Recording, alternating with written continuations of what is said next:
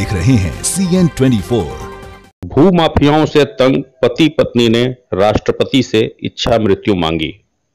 गोरखपुर चौरी चौरा थाना क्षेत्र के ग्राम देवीपुर निवासी रामजीत यादव और उनकी पत्नी मनोरमा देवी ने प्रेस वार्ता करके बताया कि दबंग भू माफियाओं के अत्याचार और प्रशासन द्वारा कोई उचित प्रभावी कार्यवाही न किए जाने से क्षुब्ध होकर राष्ट्रपति और राज्यपाल को डाक के माध्यम से पत्र भेजकर इच्छा मृत्यु की मांग किया है।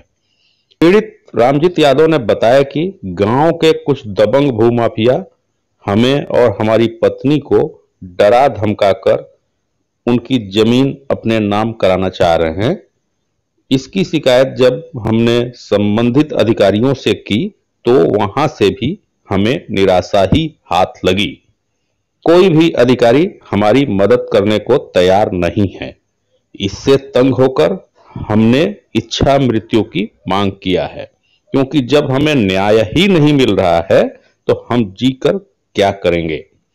हमने किसी तरह पाई पाई जुटाकर देवीपुर में ज़मीन खरीदा है, और अगर हमें न्याय नहीं मिलता है तो इच्छा मृत्यु ही हमारे लिए उचित विकल्प होगा। हमारे साथ ईश्वर चंद जायसवाल रास्ते में मिलते हैं, तभी पकड़ देते हैं, गाली वाली देते हैं, कहते हैं कि अपने औरत से कह दो, पहले हमारे नाम ज़मीन ट्रांसफ़र कर दो, नहीं तुमको ज़िंदा नहीं रहने देंगे। और प्रशासन के पास जा रहे हैं तो प्रशासन जो है हमारा कोई सुन ही नहीं रहा है। एकदम हमारी बात को दबा रहे हैं, जाओ हटो, भागो, यहाँ से भागो। जाओ रुपया पैसा पा जा रहे हैं, लोग हमारी सुनने के लिए तैयार नहीं है।